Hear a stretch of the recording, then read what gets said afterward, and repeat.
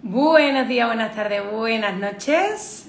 Aquí un día más para hablar de cositas importantes. Eh, día festivo, a la hora de comer, es decir, no podía poner el directo en peor momento, pero era el momento que se podía en este mes de noviembre tan precioso y tan maravilloso que está empezando hoy. Y, y bueno, antes que nada, feliz día de fiesta a todas las personas que, que tienen hoy su día festivo.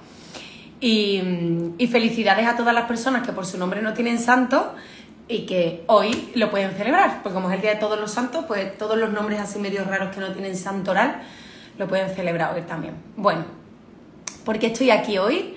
El mes pasado, el que se acaba de marchar, eh, estuvimos, estuve compartiendo en unas historias eh, una realidad que se, que, se, que, se me está repitiendo en sesiones individuales y también ahora con el grupal en algún caso en concreto acerca de todo lo que supone en la etapa adulta eh, las experiencias un poco regulinchis que hayamos podido vivir eh, desde niñas en el cole con la asignatura de educación física, porque al final el quiero entrenar y no entreno, el no tengo tiempo y el miles de cosas que, que he ido cuestionando últimamente por, por vídeos chiquititos, eh, pues había había mucha tela por rascar y profundizando, profundizando, profundizando, pues por ahí hemos llegado en algunos casos a que el primer momento donde hay, ha, habido un vínculo eh, no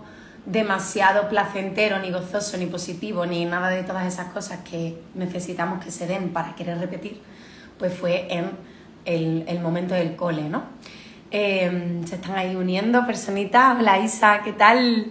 Hace mucho que no te veo. Bueno, espero que estés muy bien, muy bien y celebrando día festivo. Eh, entonces, eh, en principio nos íbamos a ver hoy a la una para hablar de, de todo esto. Y, esta mañana pues yo me he levantado súper blandita y, con mucha info en la cabeza. Y era como, uff, necesito bajar al cuerpo para poder eh, verdaderamente hablar de lo que va a servir verdaderamente, porque mmm, si no, no tiene ningún sentido que yo esté aquí. Y, y mientras corría, eh, me ha venido la posibilidad de abordar el directo desde dos perspectivas, ¿no? Tenía muchas posibilidades y entre todas esas posibilidades, reduciendo todas, eh, han aparecido dos muy claras, ¿no? Tenía la oportunidad de hablar acerca de esta temática desde la opinión y la crítica de algo que no depende de mí o desde el análisis y la observación honesta eh, de lo que sí puede de llegar a depender de mí. Entonces, pues voy a elegir la segunda opción. Voy a, voy a elegir la opción de hacerme cargo del trocito de mundo que me corresponde eh, y que parte de ese hacerme cargo del trocito de mundo que me corresponde hoy me trae aquí de nuevo delante de todas vosotras y vosotros y, y me, me, voy a, a, descartar esa primera opción, ¿no? que la digo brevemente.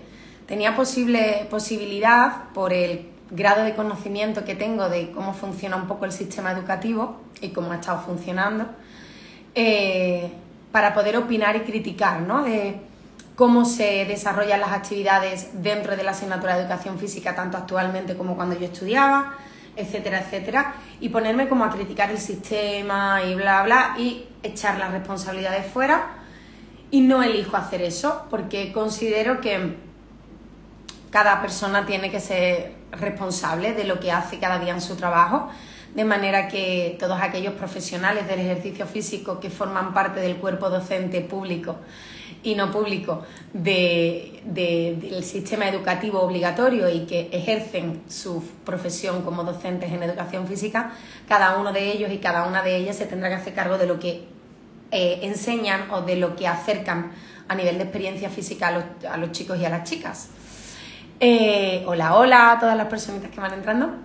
Pero yo me voy a hacer cargo de la parte que a mí me corresponde y, y, y, y de cómo yo he detectado este, este dolor o, este traumita que, que, hay debajo de muchas, muchas, muchas, muchas capas y que quizás la capa más superficial eh, que terminamos por tener y voy a focalizar mucho en las mujeres, sobre todo a partir de los 30-35 años, es decir, la, mi quinta de ahora mismo, mi, mi gente actual, porque evidentemente nosotras respondemos a una consecuencia de cosas, ¿vale? Entonces me voy a, me voy a fijar en lo que está pasando en mi generación y en las generaciones que están por encima de mí, pero no me voy a fijar de lo que está pasando en los niños de ahora ni en los adolescentes de ahora, porque como digo, ese no es mi asunto, yo ahí no puedo hacer nada y lo poco que puedo hacer ya intento hacerlo, pero me voy a encargar de qué sucede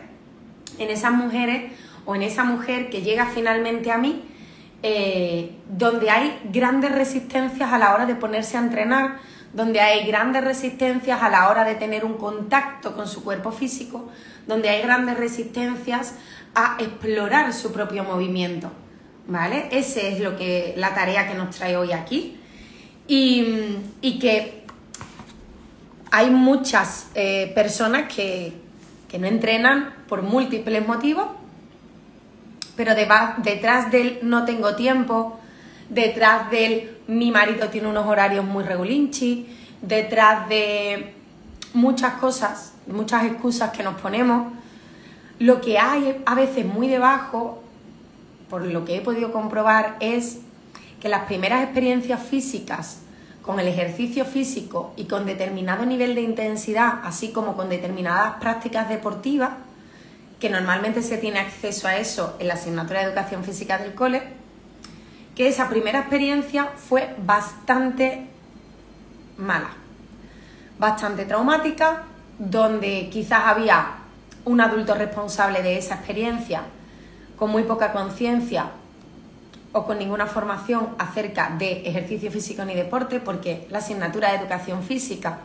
igual que la de plástica, por ejemplo, ahora mismo todavía, eh, no siempre la han ofrecido a nivel docente, ni siquiera en el sistema público, profesionales titulados en esa disciplina. Es decir, educación física ha habido durante muchos años educativos que ha sido una asignatura que han dado, por ejemplo, profesores de literatura, profesores de filosofía, profesores de tecnología, ¿vale? Entonces hay asignaturas del cole como es educación física, que en mi quinta la daba cualquier profesor o cualquier eh, docente para rellenar sus horas finales. A día de hoy sigue sucediendo con otras eh, asignaturas, ya no con educación física, pero por ejemplo sí con plástica, con dibujo, ¿vale? Y eso no es África son mentiras, eso lo conozco de primera mano, por eso lo puedo acercar, ¿vale? De hecho, esto que acabo de decir mientras corría hace un ratito, me ha venido esa idea, ¿no? Y automáticamente ha pasado una mariposa blanca delante de mí. Entonces creo que esa información tiene que estar en el mundo, ¿vale? No, no todas las asignaturas eh, están eh, facilitadas por profesionales cualificados en esa materia. Por ese hecho, eh, he empezado el directo diciendo que yo tenía dos maneras de abordar, o desde hacerme cargo de la parte que sí puedo hacer algo, o de eh, criticar de donde yo no puedo hacer nada. Entonces, yo en esa parte del sistema educativo, de cómo se reparten las horas, bla, bla, bla, yo ahí no puedo hacer nada, por lo tanto, no voy a entrar, pero sí que quiero que tengáis esa información porque sucede, ¿vale? Y a día de hoy sucede con determinadas asignaturas que, si me pongo a tirar del hilo, son excesivamente importantes para el desarrollo emocional de cualquier persona, pero me voy a ir a la parte que me corresponde, que es esa asignatura de educación física, que cuando yo la cursaba, mi profesor iba vestido de traje de chaqueta y brazos cruzados y dar vueltas al cole y ya está. Esa era la asignatura. Entonces, a donde yo voy es, ¿cuál fue tu primera experiencia con tu cuerpo a nivel de entrenamiento, a nivel de ejercicio físico, a nivel de movimiento que entrañaba cierta complejidad y cierta intensidad, y cómo fue tu primera experiencia con determinadas disciplinas deportivas, porque en, la asignatura de educación física, valga la redundancia, o sea, si yo me atrevo hoy a hablar de esto, ¿vale?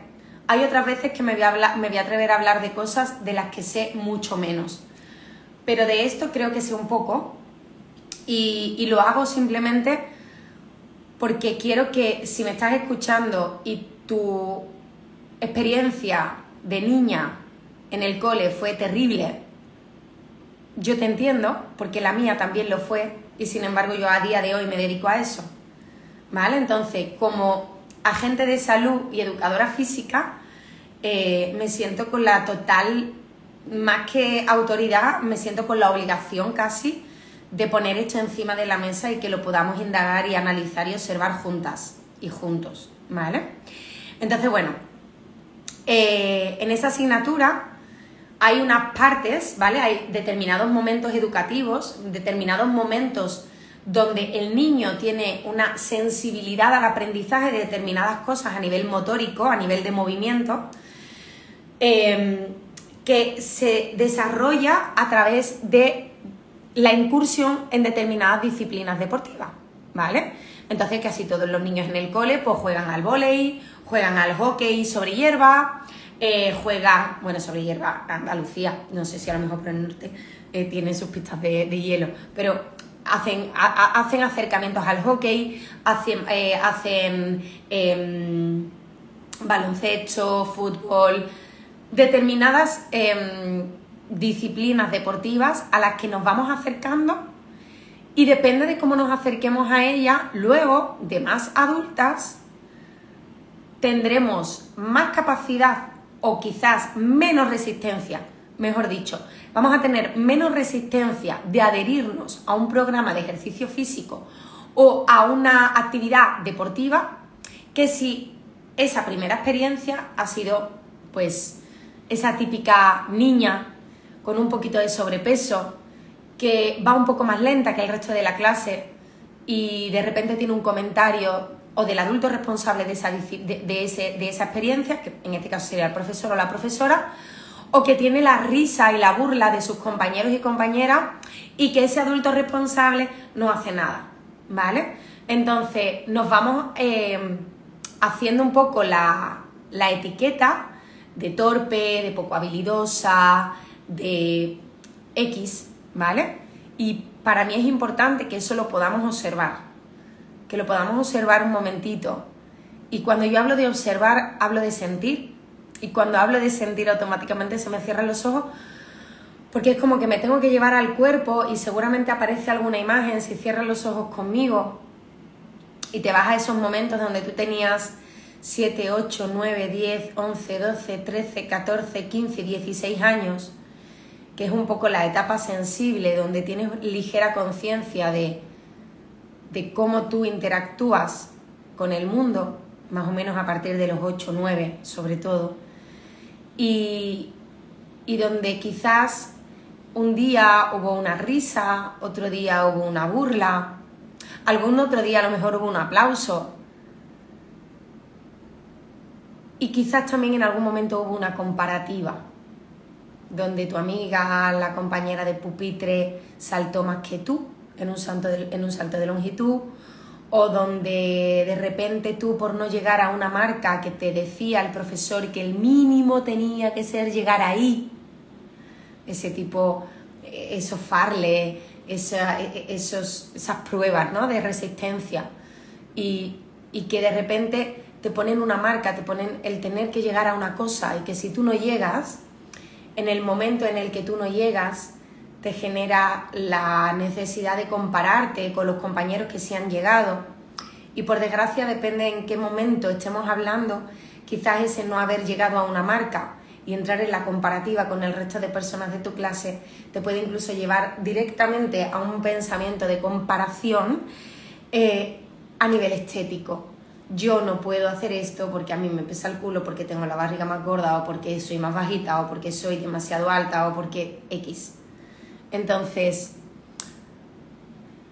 em, eso que lo tenemos dentro, yo cuando empiezo a tirar un poco del hilo del por qué a mí me llegan personas con más de 40 años quizás y que llevan a lo mejor más de 20 años sin calzarse unas zapatillas de deporte y hacer algo de ejercicio físico. Y muchas veces esto que yo acabo de decir está debajo. Y es porque la última vez que intenté hacer algo eh, me ridiculizaron, la última vez que intenté hacer algo no lo conseguí y eso me llevó a tener una mala nota. Eh, la última vez que intenté hacer algo, la persona que me lo estaba dirigiendo, la persona que me lo estaba guiando, no me supo acompañar de una manera asertiva, amorosa, compasiva. Entonces, eso está ahí. Ahora, tenemos dos opciones. Quedarnos ahí, traumadas, o dar un paso al frente y decir, vale, mi realidad actual no es esa. Yo ya no soy la niña de 8 años que ridiculizaban sus compañeros del cole cuando no podía dar la última vuelta. O ya no soy la niña eh, que saltaba menos que el resto. O no, ya no soy esa niña, ¿no? Sino es, ya soy una adulta. ¿Qué voy a hacer con esa experiencia? ¿Qué voy a hacer con eso que pasaba? Con eso que sucedió? Y que a día de hoy quizás me limita a hacer algo que me apetece hacer, ¿no? Eh, yo, por ejemplo, todo el mundo sabe a lo que me dedico, más o menos, y también sabéis que entreno a diario y que entrenar para mí es mi herramienta de vida, para todo, para gestión emocional, para gestión mental, para gestión energética, para gestión de salud a nivel físico, o sea, es mi herramienta de vida, ¿no? Entonces, para mí es muy interesante eh, poderos decir que, por ejemplo, yo sigo teniendo a día de hoy momentos del cole presentes, por eso conecto también con las chicas que han tenido esa misma experiencia. Y por eso me parece tan bonito poder acompañarlas y poder hacer que ellas se den cuenta de que lo que pasó ya no está pasando, que lo que está pasando ahora es lo que ellas eligen que pasen y que en esa elección nueva yo las voy a acompañar y ahora voy a, hablar acerca de ese acompañamiento, esa necesidad de buena comunicación por los profesionales del ejercicio físico para acompañar a mujeres adultas que si no sé por qué no está entrenando, no le puedo echar las culpas de por qué no entrena. No le puedo decir, pues hay que entrenar, pues hay que entrenar. No, hay que ver por qué no estás entrenando, qué está pasando en tu vida, qué pasó hace tanto tiempo, qué es lo que quieres elegir ahora, qué es lo que te motiva verdaderamente para moverte a diario o qué es lo que te está dejando de motivar para no moverte. ¿Sí? Entonces, eh, cuando podemos ver esa, base, ¿no? desde dónde viene eso, a mí en mi caso, por ejemplo, hay determinadas disciplinas deportivas que sigo teniendo mucha reticencia. Por ejemplo, todo lo que tiene que ver con raqueta y pelota. ¿Por qué? Porque siempre he sido bastante poco habilidosa cuando tengo que manejar algo que está fuera de mi cuerpo, aunque cuando lo agarramos ya forma parte, pero raqueta, pelota, yo todos los juegos que son con pelota me llevo regulinchi, ¿sí? Y fijaros las capacidades, habilidades, competencias motrices que yo puedo llegar a tener después de llevar, pues, muchos años, muchos, muchos, muchos, muchos años entrenando y habiendo desarrollado eh, competencias en otras disciplinas deportivas, ¿no? Donde sí hay también cierta complejidad. Entonces, eh, yo recuerdo todavía una experiencia con una raqueta eh, haciendo badminton en el cole, donde yo no le daba, vamos, no daba ni una. Y por supuesto cuando daba, eso no pasaba la red ni para atrás. Entonces, yo me creí desde ese momento que yo eso no iba a poder hacerlo nunca más. Y si bien es cierto que a mí la parte de competición y deporte, o sea, la parte de, de competición deportiva, no me llama nada la atención y por lo tanto no la he practicado y no la he usado y no la he ordenado, pues puede ser que en determinado momento de mi vida se me haya dado la ocasión de ver o de estar participando de forma activa en determinados torneos o en determinadas cosas que de repente es como, no. Por ejemplo, ahora, en este momento, sí me siento con la posibilidad de decir, ¿por qué no me apunto a pádel? ¿Por qué no me apunto a tenis? ¿O por qué no me apunto a una serie de historias donde esta cosita que está ahí, que todavía hace daño, pueda superarlo y pueda eh, demostrarme a mí misma que no soy esa torpe, ni esa poco habilidosa, ni nada, sino que esa niña pues no tuvo una buena guía para desarrollarse físicamente y para desarrollar un buen vínculo con ella misma y con su movimiento y con su ejercicio físico, con el entrenamiento y con el deporte. ¿Vale? Entonces, seguramente hay muchas por aquí, si no en directo de las que luego escucháis en diferido, que la asignatura de, educación física no fue, la, no es la asignatura con la que más cariño eh, recordáis vuestra experiencia en el cole. Y, para mí eso es importante. ¿Por qué?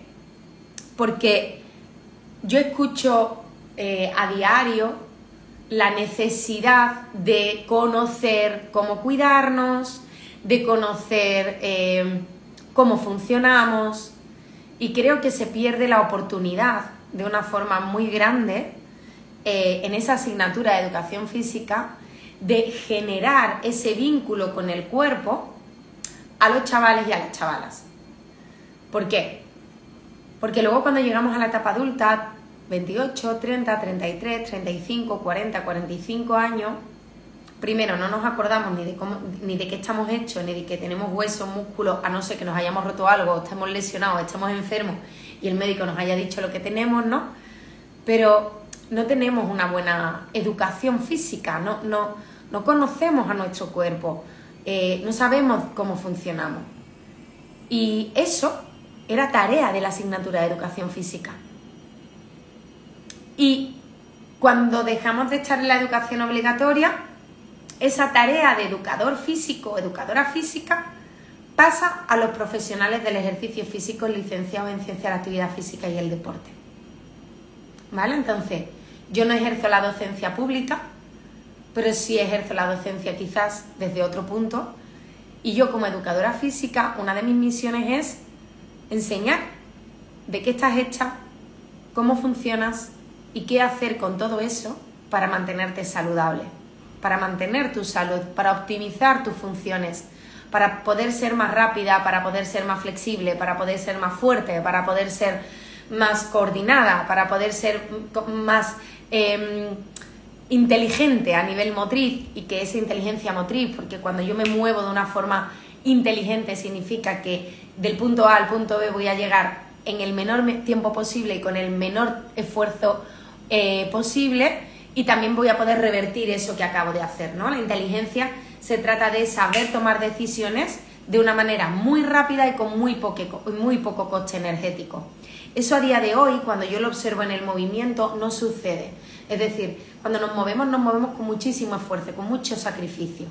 ¿Por qué? Porque no tuvimos una buena experiencia de pequeñas y de pequeños y tampoco en nuestra etapa adulta quizá hemos tocado o topado con profesionales del ejercicio físico que sean educadores, ¿vale? Porque entiendo que no todos nos podemos dedicar a lo mismo, pero ahí sí que, por eso he dicho al principio de que voy a hacerme cargo de la parte que sí me corresponde, y la parte que sí me corresponde como educadora física es atender a la comunicación, cómo hablo a las personas que trabajan conmigo, que entrenan conmigo, cómo les acerco el movimiento, desde dónde,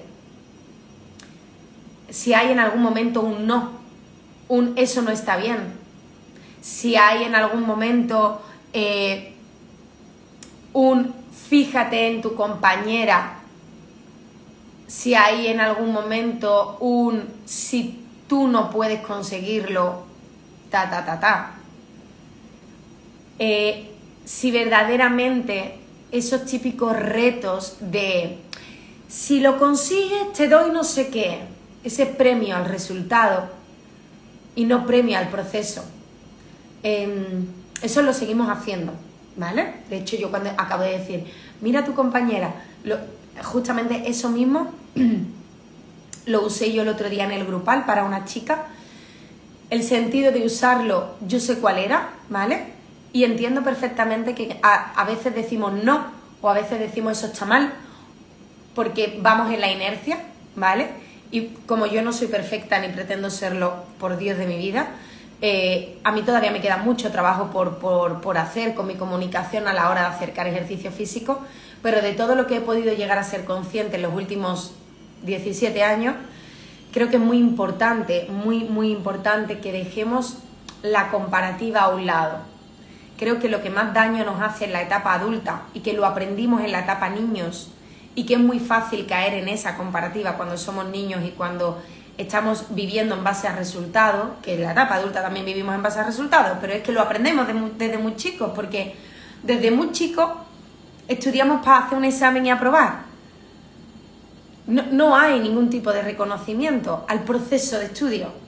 No hay ningún tipo de reconocimiento al proceso en el que el niño está aprendiendo. No hay ningún tipo de recompensa ni de aplauso eh, cuando te has esforzado en hacer una tarea y esa tarea no sale. No sale como tú esperabas que querías que saliera. Entonces, hay muchas cosas que aprendimos que a día de hoy las seguimos haciendo, pero que las hacemos porque no nos hemos parado a cuestionarlas, ¿vale? Entonces, ¿cómo me comunico eh, con las personas a las que yo ayudo a encontrarse con su movimiento, a encontrarse con ellas mismas a través del ejercicio físico y que acompaño a que aprendan todo lo que deberíamos de saber todos acerca de ejercicio físico y entrenamiento con respecto a la salud y que no lo sabemos porque tuvimos una asignatura de educación física muy mal utilizada, muy mal usada, muy mal programada y muy mal acercada a, los adolescentes y a los niños que estudian. ¿no? A día de hoy me encantaría decir que todo es diferente, pero creo que no lo es demasiado. Aún así, no es mi tarea, y mi tarea es qué pasa con la mujer que llega. Pues lo primero que yo hago con esa mujer que llega y que a lo mejor de repente a través de la valoración o de la primera o segunda sesión no termina de ponerse a hacer la tarea que se le envía, es preguntar qué pasó. ¿Qué pasó? ¿Dónde te sentiste ridícula? Porque muchas veces y eso me ha pasado hace relativamente poco tiempo con una chica, yo le propuse en, una, en, una, en un programa de entrenamiento, le propuse hacer un movimiento que al hacerlo cuando era pequeña se rieron de ella. ¿Eso que hizo? Que se le despertara eso y al despertarse eso, ella rechazó ese programa y dejó de hacerlo. Cuando me vino a la sesión individual, África no estoy haciendo lo que debería haber hecho. Y ella se sentía súper culpable, súper culpable, súper culpable. Y a medida que fui rascando y llegamos al origen de, claro, no es tu culpa no querer hacerlo. Claro, es que haciendo esto te lleva a un dolor emocional generado en determinado momento de tu vida que ahora tenemos la oportunidad de revertirlo. Entonces, obviamente, ese ejercicio para mí es uno de los básicos y sobre todo, aunque puedo cambiarlo, considero, por muchas historias, que la herida sana donde se hace la herida. Entonces, eh, si yo haciendo un ejercicio en un momento determinado de mi vida tuve una mala experiencia, a ese ejercicio, a ese movimiento, en algún momento vamos a tener que volver. Ahora, cómo volvemos, con qué voz, con qué guía vuelvo, con qué entorno, con qué contexto vuelvo, eso depende del profesional que te lo está acercando. ¿Sí? Entonces, si me estás escuchando y eres mujer, entre 28 y 45 o 46 años, y no entrenas, y en el cole tu asignatura de educación física fue regulinchi, y a día de hoy sigues teniendo muchas resistencias a entrenar porque sientes que eso no es para ti, que eso lo hacen tus amigas pero tú no, y que dentro de ti, muy profundamente, en tu más y absoluta intimidad, hay miedo, aunque allí donde hay miedo hay deseo, pero hay miedo a exponerte, hay miedo a ponerte a moverte y hay miedo en determinadas cosas, pues yo te digo que, que te entiendo, y que no tienes culpa de no entrenar por eso, ¿vale? Tú no tienes la culpa. Si eres la responsable de no estar entrenando a día de hoy, pero no tienes la culpa de nada, ¿sí? En tus primeras experiencias físicas hubieron más personas responsables y que de todos esos responsables, eh, los adultos que tenían que hacerse cargo de eso no supieron gestionar la situación. Eso sucedió. Ahora, a día de hoy, tú que eres la dueña de tu vida y de tus decisiones y de lo que quieres y de lo que anhelas y de lo que sueñas y de lo que tienes miedo y de lo que deseas, qué vas a hacer con esto. ¿Vale? Y ahora me voy al campo del ejercicio físico, a todos mis compañeros y compañeras profesionales. Ojo, cuidado con cómo hablamos a la gente, qué le decimos para motivarla y sobre todo el premio al resultado. Tienes que llegar hasta... Tienes, tienes que conseguir esto. El hasta hace que la persona que está moviéndose contigo haga lo que sea por llegar hasta ahí. Entonces, empecemos a cambiar el hasta por el hacia, sobre todo cuando estamos dirigiendo movimientos, ¿no? Empecemos a cambiar el resultado, el tienes que hacer 8 repeticiones, por el busca sentir esto. Y mientras lo está buscando, preguntarle, ¿cómo te sientes? ¿Cómo te encuentras? ¿Qué estás pensando? Cuando em, ayudamos a la persona mientras se está moviendo a que sienta lo que está moviendo, empezamos a hacer que esa persona establezca un vínculo y una comunicación con su cuerpo, con su propio movimiento. Si eso no se da, la persona cuando se va a su casa, lo único que ha hecho es ejecutar mecánicamente algo, no aprender nada, y la oportunidad grande que abre de poderse sentir, la perdemos. Estamos perdiendo muchos profesionales. Estamos perdiendo la oportunidad de que la persona que viene a nuestras instalaciones o que consume nuestro servicio tenga una experiencia sensorial con ella misma, con él mismo, que le pueda llegar a transformar su autoconcepto y su relación de él o ella con su propio cuerpo que seguramente es una relación que está completamente rota y distorsionada, traumada y que duele. Entonces, intentemos poner conciencia. Al final, todos hacemos lo mismo. Es decir, todo el mundo hace sentadillas, pesos muertos, fondo de pecho, dominada, coge una goma, coge una kettlebell, coge una barra olímpica, coge un, banco de gizra, todos hacemos lo mismo. Porque pues porque entrenar es entrenar, fin, de la historia, ¿vale? Hay quien le mete más su cosita, hay... pero todos hacemos lo mismo. Ahora, ¿cómo estamos aprovechando la oportunidad que tenemos con el cliente o con la clienta? ¿Cómo estamos aprovechando ese espacio en el que la persona te da una hora de su vida, donde tú le estás dando una hora de tu vida, por lo tanto ahí hay dos horas disponibles, no hay una, hay dos, ¿Y cómo estamos utilizando eso? O si la persona no está contigo solo, pero está en un grupo, ¿cómo dinamizo al grupo? ¿Qué estoy diciendo para que todos estén potenciados dentro de su individualidad, dentro del grupo? Y soy consciente que eso es muy difícil hacer, pero es nuestra tarea. ¿Por qué? Porque em, que sigan existiendo mujeres que no entrenan, que sigan existiendo eh, adultos, adultas, con una mala gestión de su condición física, que sigan existiendo enfermedades que colapsan el sistema sanitario sin necesidad, si todo esto estuviera totalmente organizado y que somos nosotros, los educadores físicos, los responsables de esa realidad. Eh, si todo eso estuviera, habría muchos menos traumas, habría mucha más gestión emocional, habría mucha más inteligencia, y habría muchos menos problemas de salud de los que tenemos a nuestro alrededor. Entonces, creo que el directo se está acabando. Estoy súper sorprendida de algo tan escueto hoy, pero siento que la información ya está. Y, y que si bien cuando tenemos experiencias poco positivas,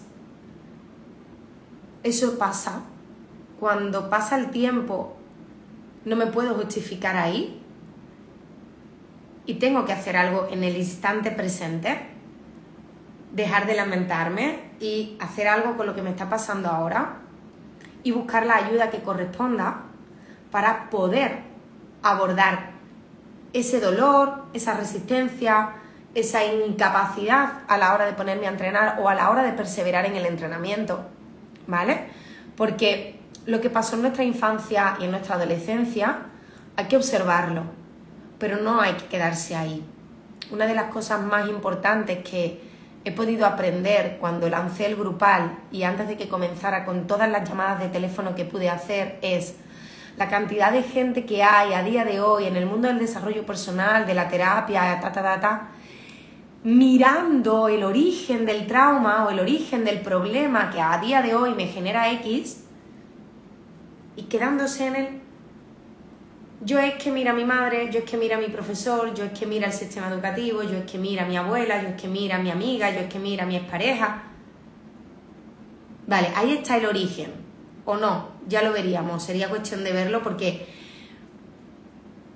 hay, por ejemplo, un par de ejercicios en PNL que cuando te pones a mirar, a veces creemos que ahí está el origen y ahí está el origen. Pero bueno, le dejamos a la cabeza que se crea que ha llegado al origen. Vale, llego al origen y que, y que esto, en, mi, en mi realidad actual, ¿qué me aporta? ¿Vale? Es, vale, en el, en el cole viví una situación terrible con la educación física, fenomenal, con la gimnasia. En mi, en mi época se llamaba gimnasia, luego se llamó educación física. Pero cuando yo era chica era gimnasia. Ok, y a día de hoy, ¿me quedo ahí o hago algo con eso? ¿Sí? Y ahora, si quiero hacer algo, ya sé que si yo cuando me, relaciono con mi cuerpo tengo determinada resistencia, voy a intentar buscar un profesional que me ayude de una forma amable con eso. Y si esa persona, ese profesional ha tenido una relación parecida con su cuerpo y parecida con esa asignatura de la que yo he tenido, mucho mejor. ¿Vale? ¿Por qué? Porque me va a entender mejor. Y porque si esa persona lo ha superado, va a entender quizás todas las etapas del proceso por las que yo voy a pasar hasta que lo llegue a superar. ¿Sí? Entonces, eh, encontrar el origen a veces del por qué no entreno o por qué no persevero en el entreno nos sirve, pero nos sirve simplemente para poder ir a ese momento de una manera muy bonita y si quieres vamos juntas, porque tampoco hay que hacer demasiada parafernalia, ¿eh? Que luego, uh, porque estoy sanando ahí 38 años sanando a la niña interior, que la vida es ahora, ¿sí? Entonces, si quieres, vamos a cerrar un momentito los ojos.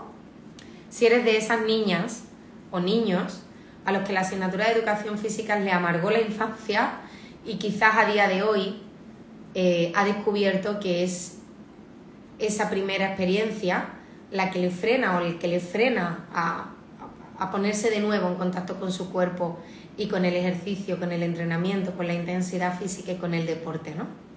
Entonces, si te quedas ahí tranquilamente y cerramos los ojos,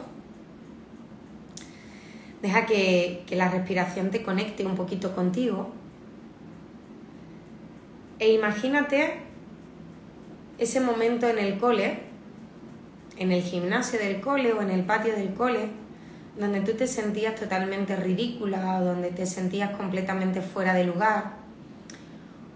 O quizás puedes llegar a visualizar algún momento exacto donde quizás el profe o la profe te dice algo que a ti automáticamente te cierra en banda o alguna risa individual o en grupito de alguno de tus compañeros y compañeras riéndose de ti al no conseguir algo o al no tener tanta habilidad como quizás ellos creían que tú deberías de haber tenido. Entonces quédate con esa imagen de ti. Y como puedes verla, tú eres una observadora, como si estuvieras en un cine sentada y tienes ahí delante una pantalla donde se está generando esa película, pero en esa película estás tú. Y entonces ahí tienes la posibilidad, si quieres, de poner todo en off menos a ti. Y de una manera muy ultrasónica y muy mágica, meterte dentro de esa pantalla y hablar contigo. y decirte, quizás, que entiendes la vergüenza que sientes.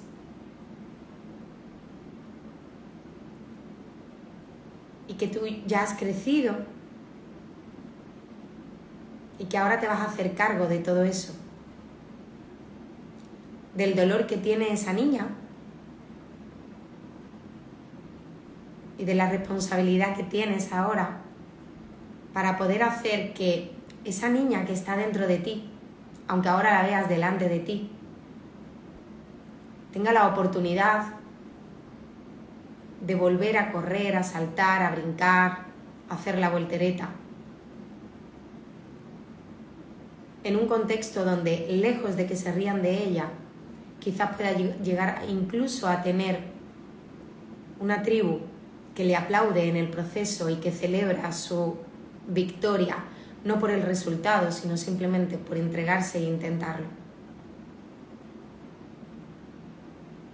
Y ahora vuelve a tu pantalla de cine y reorganiza esa imagen. Total. Esa imagen la recuerdas tú. Manipúlala si quieres. Puedes hacerlo. Es una habilidad que tiene el cerebro. Y entonces desde ahí puedes imaginarte a esa niña de nuevo saltando y consiguiendo saltar. Puedes imaginarte a esa niña que cuando daba con las manos en la pelota de volei y no alcanzaba a pasar la, la, la, línea, no me sale la palabra, la línea, que de, de repente da con sus manos y pasa. Puedes reorganizar esa imagen y ser la que más rápido corre o la que corre como te hubiera gustado correr.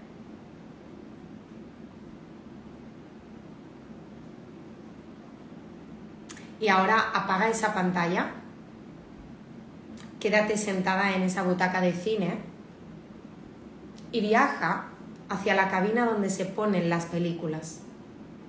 Y desde la cabina mírate sentada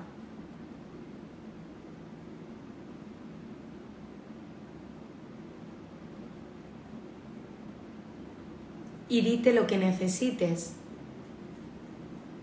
Si quizás ha llegado el momento de dar un paso hacia adelante y empezar a hacerte cargo de tu salud, de tu movimiento, de tu ejercicio físico, de tu entrenamiento. Y no seguir dejando para mañana lo único que te hace estar hoy viva. Y eso es tu cuerpo.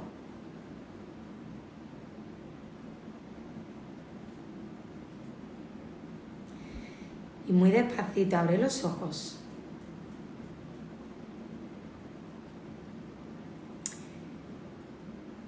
Y colorín colorado, este directo se ha acabado. Espero que te sirva. Tienes la posibilidad y la capacidad de decidir y de elegir qué imágenes tienes en tu cabeza, cómo las organizas y sobre todo eh, tienes la posibilidad grande de decidir hoy qué quieres hacer hoy y empezar hoy con el mañana que te gustaría tener. ¿Sí?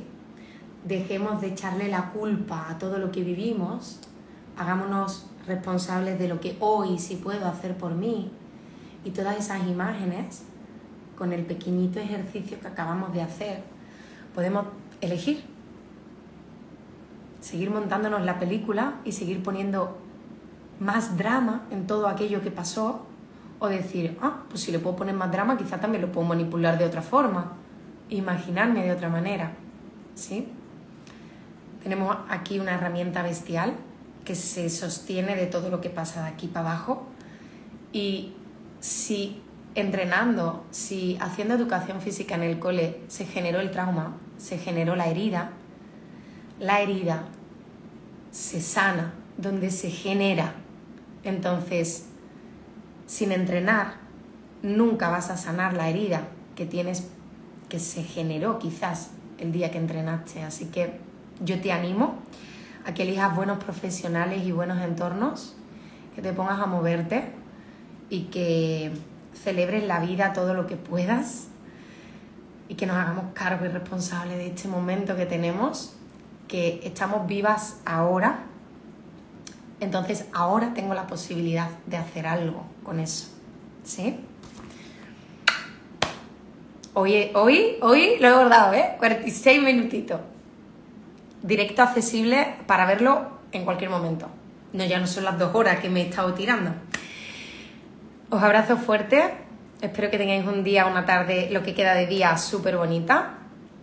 Y muchas gracias a la que habéis estado. Eh, gracias a todas las personas que luego lo vean. Y me va a encantar mucho escuchar, leer y que me compartáis un poco. Y si el ejercicio este último que hemos hecho visualizándolo te sirve, que sepas que lo puedes hacer con cualquier cosa de tu vida. Puedes elegir hacer lo que quieras y puedes elegir hablar con todas las partes de ti que en algún momento necesitaron a una adulta responsable que las amara.